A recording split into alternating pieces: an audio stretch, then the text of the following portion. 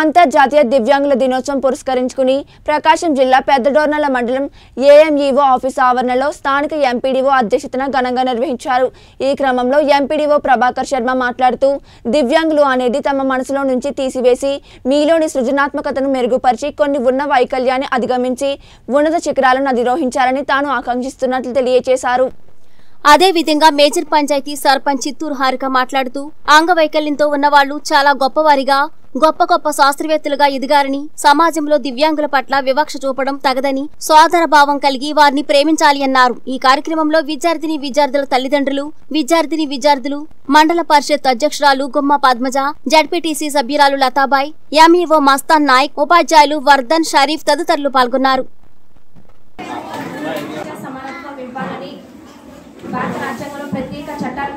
రావడం జరిగింది. మానసిక మీరు శారీరకంగా దివ్యాంగులైన మానసికంగా వాటిని అధిగమించి అన్ని రంగాలలో ముందుండాలని కోరుకుంటున్నాను.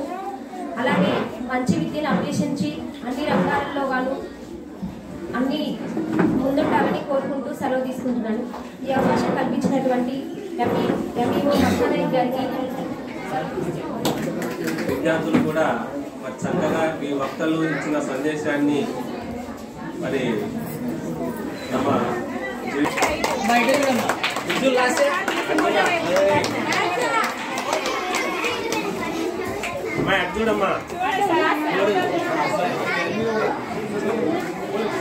అలాగే దివ్యాంగులకు అలాగే వాళ్ళ పేరెంట్స్కి అందరికీ నా హృదయపూర్వక నమస్కారాలు తెలుసుకుంటున్నానమ్మా ఇక్కడ అంతర్జాతీయ దివ్యాంగ దివ్యాంగుల దినోత్సవ శుభాకాంక్షలు తెలుసుకుంటున్నాను అలాగే నిజానికి అంగవైకల్యం అనేది ఒక శాపం కాదు ఒక అని మీ పేరెంట్స్ ఇంట్లో వాళ్ళు అనుకుంటూ ఉంటారు. కానీ అది ఒక శాపంగా కాకుండా ఒక వరంగా మార్చండి దాన్ని. ఎందుకంటే ఇలా వరంగా మార్చిన వాళ్ళు ఇక్కడ ఫ్లెక్సీలో చాలా మంది కనపడుతున్నారు. లూయిస్ బ్రెయిన్ గారు అతను లిపింగ్ బ్రెయిన్ లిపింగ్ తయారు చేశారు. అట్లాగే నికో అలాగే చెప్పకుండా పోతే నికోలస్ జేమ్స్ ఇచిప్ అనే అతను కూడా ప్రపంచ ఆఖ్యాతని కలిగిన వ్యక్తి. ప్రపంచంలోకి మంచిగా మోటివేషన్ క్లాసెస్ ఇస్తూ ఉంటాడు. అలాగే చెప్పుకుంటా పోతే స్టీఫెన్ హాకింగ్ గారు కూడా. అతను కూడా ఒక మంచి సైంటిస్ట్.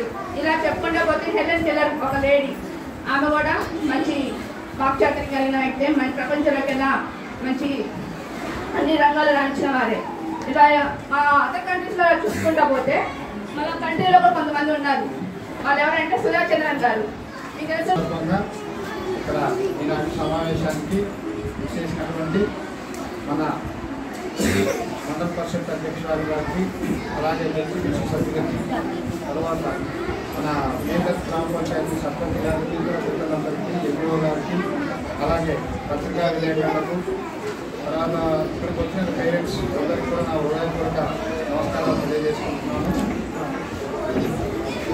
ఇది దివ్యాంగులు అనేటువంటిది వాళ్ళ మనసులో నుంచి ఒక ఆలోచన తీసేసే విధానం కోసమే మన ప్రభుత్వం వాళ్ళు ఒక సంవత్సరంలో ఒక రోజున దీన్ని ఒక సెలబ్రేషన్గా జరుపుకోవడానికి పెట్టారు.